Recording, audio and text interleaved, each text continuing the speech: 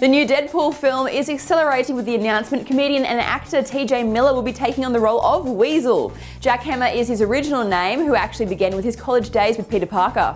Even in the eyes of Spider-Man, Jack was a genius nerd. He later becomes Deadpool's weapons dealer and tech expert. Take that. Morena Baccarin has also been cast as the Merc with the Mouth's gal pal Vanessa Carlysle, or Copycat as she is known, with powers similar to Mystique. But don't worry, she ain't no damsel in distress, a very independent character with a storyline of her own.